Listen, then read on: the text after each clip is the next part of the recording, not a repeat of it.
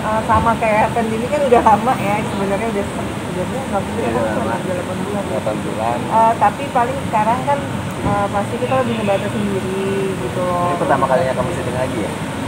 Setelah kemarin. Ya. ya musibah itu Uh, nah uh, apa namanya yang jelas sih nih yang aman-aman saat ini gitu. Terus juga uh, apa ya jaga kesehatan juga terus alat yang dibawa juga banyak kalau untuk syuting gitu agak sedikit ribet tapi demi keamanan Tapi pertama kali syuting setelah uh, musibah kemarin, seberapa tegang itu dulu setelah kejadian kemarin? Oh ya apa ya eh, harus ini istilahnya eh, kalau bisa dibilang kan recovery-nya memang belum sampai uh, berapa? 40 hari ya kayaknya. Eh, dan alhamdulillah sih Itu juga Pak lagi jalanin masa nifas juga kan 40 hari itu. Eh, udah jauh apa udah jauh lebih baik. Eh, karena yakin apa yang sudah Allah eh, Allah lebih tahu apa yang terjadi. Itu adalah yang terbaik buat aku sama eh, suami ya gitu. Jadi eh, manusia kan cuma bisa merencanakan Tuhan yang menentukan jadi apa yang aku lakuin kemarin sempat eh, sedih down. Dia pasti. Karena kan shock ya kejadiannya lagi ngecek kandungan terus tiba-tiba ngecek kandungan rutin terus tiba-tiba ada kabar nggak enak gitu. Jadi shock banget gitu karena kan memang nggak ada rasa apa-apa gitu. Hormon masih ada terus ngidamnya juga masih ada gitu. Jadi nggak ada nggak ada nggak ada apa sih nggak ada gejala ya nggak ada gejala gitu. Nggak ada gejala kecapean juga enggak ya bis gitu. Eh, kemarin juga pas sebelum kejadian juga sempet syuting syutingnya juga nggak capek gitu dan akhirnya dengar kabar gitu pasti shock banget. Karena kan pasti udah ngarepin terus juga kemarin udah sempat eh, pesan juga buat syukuran 4 bulan kan anak gitu. Karena kan itu sebenarnya udah masuk mau ke 4 bulan. Dan akhirnya mendapat kabar itu dan apa ya butuh butuh proses sih. Makanya kemarin juga minta maaf kalau aku belum bisa ngasih statement apa apa jadi melalui suami karena memang benar-benar nggak bisa gitu Em, rasanya masih ada lah gitu. Dan apa sih namanya Eh, untungnya ada anak-anak di rumah ada Ijaz, ada Pas yang hibur bikin aku happy. Jadinya terus ke sini-sini semakin mikir lagi. Nah, anak kan juga apa namanya aku juga harus semangat lagi lah. Mungkin memang belum rezeki gitu. Terus juga banyak eh, ya apa ya tanya-tanya sama Ustadz ini terus akhirnya oh ini bukan rezeki aku. Eh, istilahnya eh, ini adalah apa yang Allah mau gitu. Allah tahu mana yang terbaik. Mungkin Allah nggak mau aku lebih sakit dan sedih lagi. Nanti memang udah cuma sampai di situ rezekinya dikasih sama Allah. Bukan em, nggak bisa dikasih lebih lama dari itu ya udah nggak bisa ngomong apa apa tapi yang jelas ya saat ini eh, berharap mudah-mudahan eh, apa sih kayak apa ya kadang suka kalau masih ini sih kadang kalau kalau orang lagi cerita masih kayak belum cerita ke mau cerita gitu lagi tuh kalau nanya-nanya tentang kejadiannya itu aku malas banget. Mungkin sebenarnya udah senang banget ketika dia sekarang mau kerja lagi karena dari kemarin kan cut dulu deh, cut dulu kayak, kayak mungkin di rumah masih bisa happy tapi kalau di depan kamera kan kayak masih belum bisa nutupin itu gitu kan. Akhirnya ketika dia memutuskan malam ini mau ya udah live lagi. Akhirnya kayak oh senang banget berarti dia udah siap gitu gitu. Jadi sekarang udah saat yang tepat buat kamu ini lagi untuk berkarir lagi segala macam. Kan punya anak segala macam insya Allah dikasih lagi Tapi kalau sendiri seperti apa sampai sekarang? Udah mulai mengerti dan nggak menanyakan atau seperti apa? Atau mungkin pas shock juga ya? oh pas waktu pas kejadian Dia nangisnya paling, luar paling biasa. shock. Dia malah paling nangis paling kenceng kalau pas. jadi udah sedih makin sedih lagi ngeliat uh, reaksi dia gitu. Kan kenapa kenapa? gitu.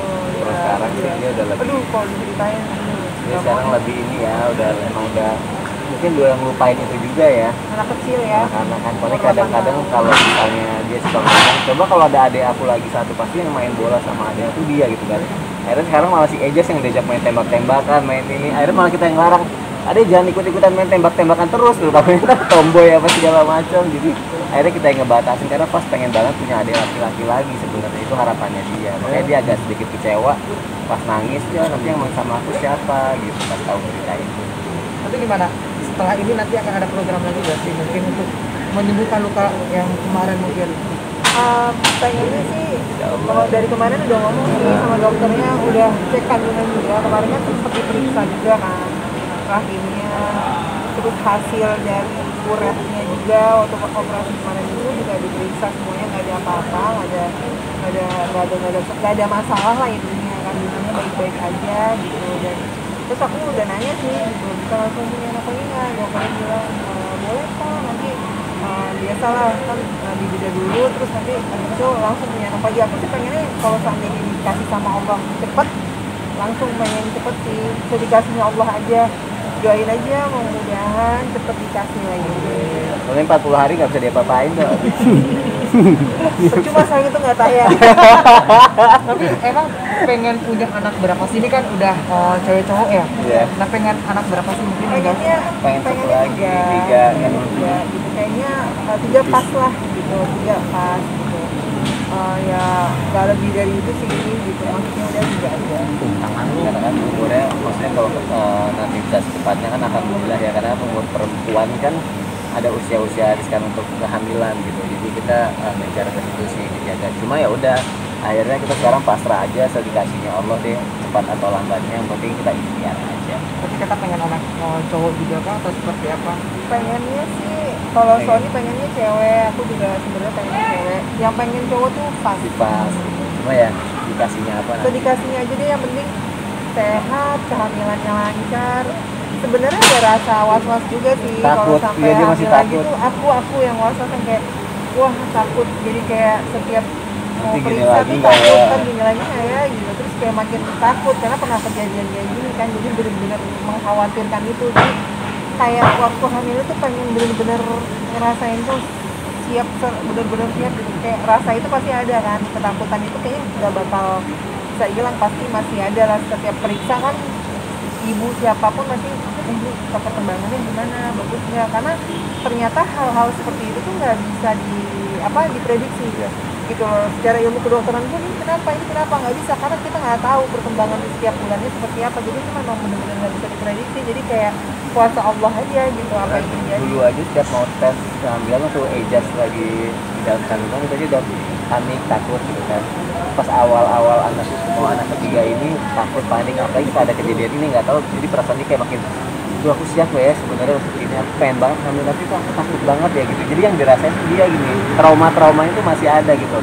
Aku bilang ya sekarang kita eh, jalanin itu sebaik mungkin aja maksudnya benar-benar pasrah lah karena sekarang yang memang bener sih itu kayak kita ngerasain benar-benar kehilangan seseorang yang kita harapkan tuh kan dek gitu kan sakit masih sakit dan nggak nyangka gitu. Makanya akhirnya trauma itu yang akhirnya masih ada di kepala lagi Pak Irus takut lagi takut kehilangan lagi takut lagi.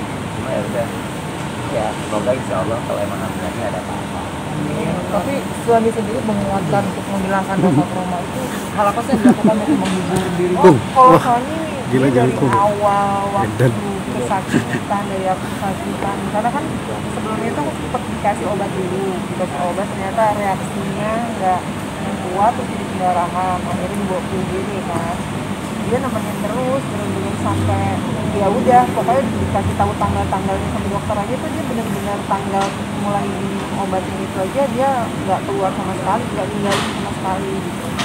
Terus juga waktu uh, proses juga di- apa namanya nggak bisa ditemenin ya karena lagi covid Uh, aku harus kayak masuk ke kotak gitu ya. Jadi harus dimasukin ke protokol dalam kesehatannya kotak kayak kotak isolasi gitu.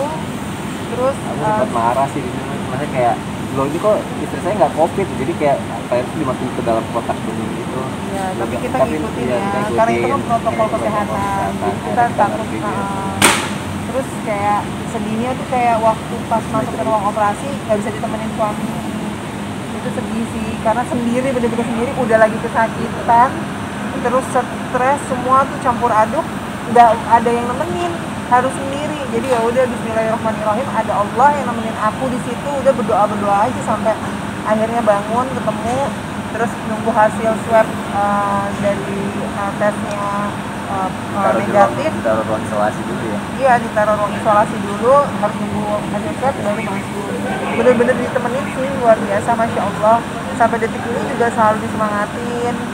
Eh, suka ngelucu ya dia kan tahu sendiri kan orangnya gitu koplak-koplak lucu gitu. oplak Nah, walaupun kadang suka nggak lucu tapi aku tetap ketawa kok saya bisa kasih ya. Kamu udah support aku